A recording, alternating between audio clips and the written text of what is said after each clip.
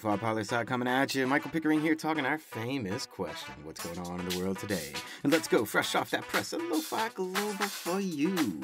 Out in Spain, the government has announced plans to put a very interesting customer service bill up to vote in Parliament. And while normally I'd like to wait for a law to pass before talking about it, this one I just couldn't help myself. You see, this proposed law would change a very irritating thing about us doing business with companies. And that's talking to computers. Yes, recorded voice answering services. This new law would force Spanish companies to have actual people answer your customer service calls or risk a fine. And this is super interesting to me because I know personally I don't care to talk to a computer when I'm asking for help through telephone services, which I try to avoid anyway, but still. It interests me because I wonder Will this really increase customer service services? And will it really make our experience with customer service phone calls actually better? Write in, people. Do you hate talking to a computer, or would it matter one way or another? What do you think about passing this bill? And I did just stop the cast right there, just because I was gonna, I was gonna edit out that bill instead of bill. But nah, I decided to roll with it anyway. It's summertime. But now to the United Nations news. And no, we're not talking about Russia and Ukraine. That's still going on for sure. But we're talking about something that the UN Security Council all agreed upon. And we whisper because if it's anything more than a whisper, then it's going to break. But they actually adopted a resolution. So interesting. But let's see what exactly this is about.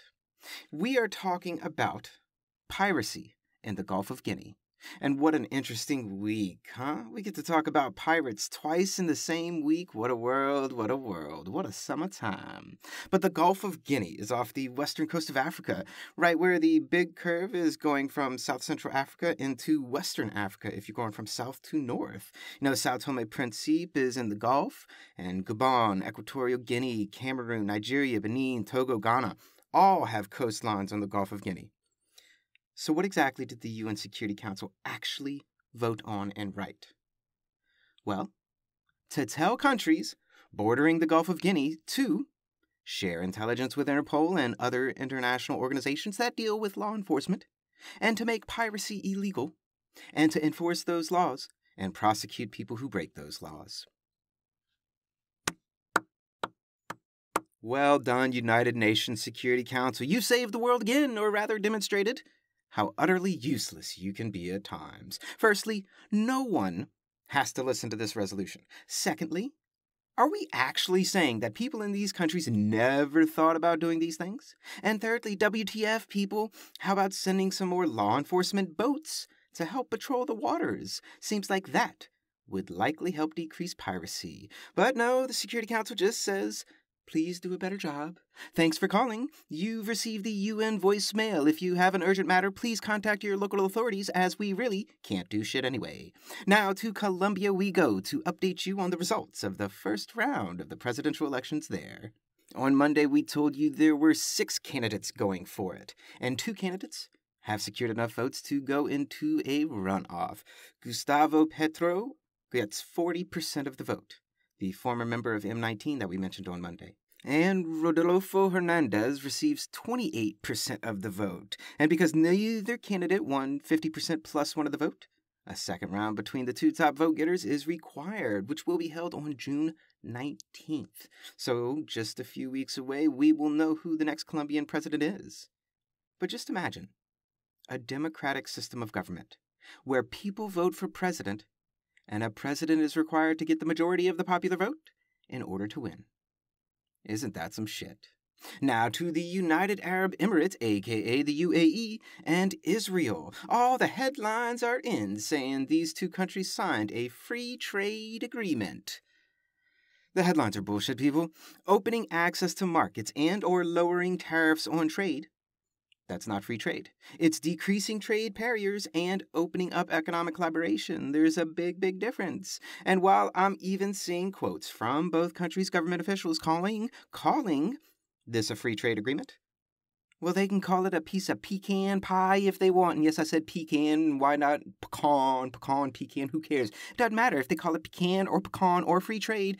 It's still not a free trade agreement. It's the normalization of trade and the reduction of trade barriers. It is not the elimination of trade barriers, and therefore, it is not a free trade agreement. Now you know. And a last piece of news to send you on your way for the day. To Australia we go, and into the ocean, where scientists from the University of Western Australia have found a new, the largest plant on planet Earth. It's seagrass. Seagrass. That's about 77 square miles big, or about 200 square kilometers big if you're the rest of the world. But it's a patch of seagrass, people. That's massive. And think about that too. Grass is one plant. It's not like a leaf of grass is a single plant by itself, but rather the whole patch of grass is one plant. It's interesting to think about, am I right? And because of that, the largest plant on Earth isn't a giant sequoia tree, but rather a patch of grass in the sea. That's about 200 square kilometers big, or 77 square miles. And that's a brief snapshot of what's going on in the world today. Check out lofipolisci.com, the music, the episodes, the blogs, the letters, the art. Add us on all the socials. People hit us up. And it's not a cliche or a catchphrase, it's a lifestyle. Always remember that Lo-Fi is more than just me. It's the we that we be. Talk to you soon, Lo-Fi listeners. Pickering, signing off.